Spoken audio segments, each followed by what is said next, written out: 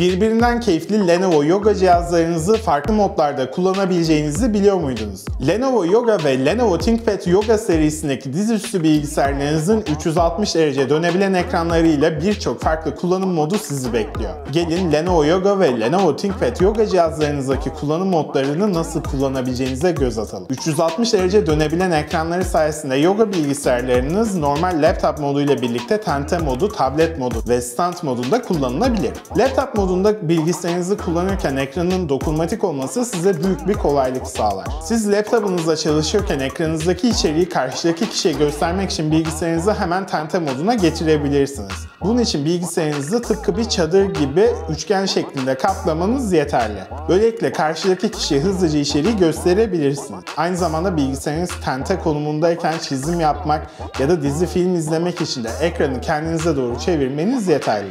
Bilgisayarınız 360 derece katlanabilir olmasıyla birlikte aynı zamanda bir tablet görevi de görüyor. Bilgisayarınızı tamamen katlayarak Windows'un keyifli dokunmatik arayüzünde laptopunuzu tıpkı bir tabletmiş gibi de kullanabilirsiniz. Böylelikle bilgisayarınızı elinizde taşırken ekran üzerinde dokunmatik panelle çalışmanız da bir hayli kolaylaşıyor. Aynı zamanda Lenovo Yoga ve Lenovo ThinkPad Yoga cihazlarınızı stand modunda da kullanmanız mümkün. Stand modunda da klavyeyi aşağı vererek ekranı kendinize doğru açtığınız zaman ekranın hakimiyeti tamamen sizde oluyor. Böylelikle dokunmatik ekran üzerinde çizim yaparken ya da ekranda dokunmatik paneli kullanırken masa başında çok daha rahat bir deneyimi Lenovo dizüstü bilgisayarınızla yaşayabilirsiniz.